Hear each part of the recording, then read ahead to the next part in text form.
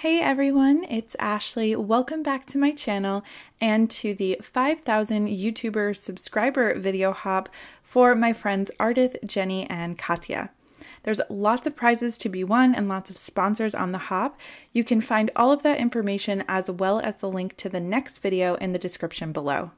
I'm going to go ahead and get started on my technique, which is going to be creating this really beautiful blended flower with no coloring at all.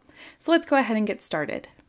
I'm using the Mondo Chrysanthemum stamp and die set from Ellen Hutson, and I'm going to be grabbing some Altenew inks, and that's actually how I'm going to be coloring in my images today. I originally land on Fresh Lemon, Frosty Pink, and Coral Berry, though those do change in a little bit, but I'll get into that then. And for my blending brushes, I'm going to be using these ones from the Stamp Market. They come in three different sizes, and I'll also go into sizing in a little bit as well. So you can see that all of my images fit on this standard A2 size piece of cardstock. This is Bristol Smooth cardstock and I love using this for ink blending. It has a thin like vellum layer over the entire surface and it's just really really nice and smooth and it's great for ink blending. To stamp these, I'm using my jet black ink from Altenew, and I just want a nice bold image. A lot of times with ink blending, you'll see people heat embossing, but I really wanted this almost to look like I colored it in using markers or some other type of medium rather than just ink. I wanted it to sort of be like a mind trick, so I wanted to make sure that I was able to achieve that by stamping these images in black ink as I would if I were to color them in. Now I'm going to leave the stamps exactly where they are in the MISTI. I'm not going to touch them because we're going to come back to that in just a minute as well. Now since I'm ink blending on top of these stamped images, I'm going to hit it with my heat gun just to make sure that all of this ink is nice and dry and I don't have any smudging. I'm starting in the center of the chrysanthemum and I'm going to move out to the edges. So I'm starting with fresh lemon in the very center. I'm just using the tip of this brush. Now this is a medium-sized brush from the Stamp Market. Lots of different companies will have lots of different sizes. And the great thing about having a plethora of sizes is that you're able to kind of manipulate where the colors go with smaller brushes. But if you need a much larger space to be ink blended, a larger brush is going to do a much better job at making a seamless blend. So it's important to really try out different sizes and see what works for you. And I'm actually going to go into that a little bit more in just a second. Here's the start of this problem that I had. So I've got this really light frosty pink color, which is beautiful, but it's not showing up the way that I want it to. So I go ahead and switch gears and I think, okay, let me grab Pink Diamond and Puffy Heart instead of the two uh, Frosty Pink and Coral Berry. Now I'm still having trouble getting the color payoff that I want with Frosty Pink. Now these are extremely light colors and they take a, quite a bit to build on top of one another, but I'm finding it really difficult with this size brush to complete a look that I would like. So I go ahead and grab my smaller size brush, and this is just denser. It's smaller, it's more dense. I'm able to pick up a little bit more ink on this, and it's making this show through much better. So I'm going to stick with these colors since these are the ones that uh, sort of came to be, and I'm using Pink Diamond here. And then um, I go into this darker color, which I'm actually using right now, and that's Puffy Heart. Now I'm going to complete the flower with Puffy Heart, and I am going to come back in in just a second with a darker color called Rubellite. I do that just because I realized that the blend isn't as much as I really wanted. I wanted it to go from yellow to a very light pink and then go out to a really dark pink color, something that made a big impact. And I just thought that if I brought in a bit of a darker color just for the edges, that would work out better.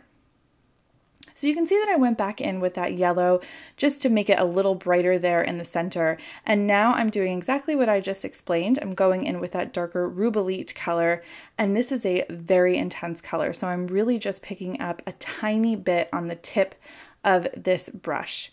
Now, like I said, this is their smallest brush option. So depending on what you're trying to do or the look that you're trying to go for, having different sizes can be really important. For the leaves, I'm going to do a very similar thing, and I'm just going to take the two colors Forest Glades that I'm using right here, and I'm going to blend that in, over the entire leaf image. And then I'm going to go in with Evergreen in just a moment and do the very edges of these leaves. And again, this just will give a little bit more of a blend look. And I'm just going to take that Evergreen and go right over the very edges of these leaves. And now that I'm finishing up, you're looking at this and saying this is a hot mess and this is going to look terrible. But I promise you, once it all comes together, you'll see that it really does turn out really beautifully. So because I left those stamps in the MISTI, I'm able to place this cardstock back in the MISTI. Because I've been ink blending over and over, I dulled the lines a little bit. So I want to make sure that I can restamp these images in jet black ink like I had originally over the images that I've already ink blended. This is just going to make those lines pop and it's going to be in the same exact spot that it was before because I used my MISTI. Now, try not to judge too much. I actually was off like a millimeter, just a tiny, tiny bit. And I think it was because I didn't make sure that my mouse pad was in the corner there. But it's not that bad, so I went ahead and used it. And I hope that you'll forgive me. But uh, moving right along. So now that I have my uh, card front, and this card front is cut to four by five and a quarter. So this is just a quarter inch smaller than an A2 size card. And I do this just so I can get a nice border around my card front. I just think it looks really nice. It kind of looks a little bit more framed. So what I've done is just taken my images and before I adhered anything, I just went ahead and created a very simple card layout with these images.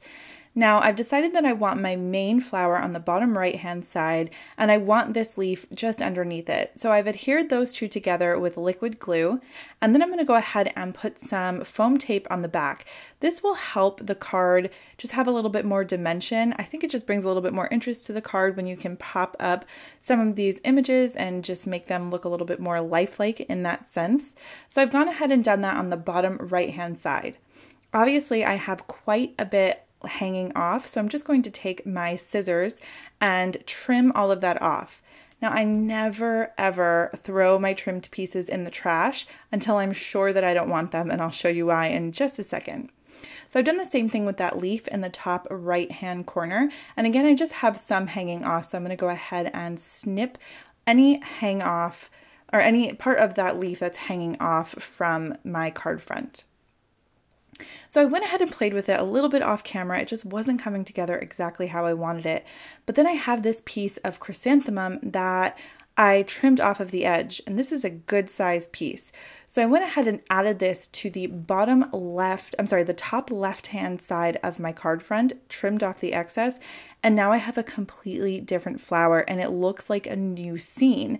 And I just love the way that this all comes together once I add a little bit of a leftover leaf in there and I really was able to create this entire scene with just three images, and it worked out really great. I also love the fact that you can really see the blended out color from that yellow to the light pink to the medium to the dark pink.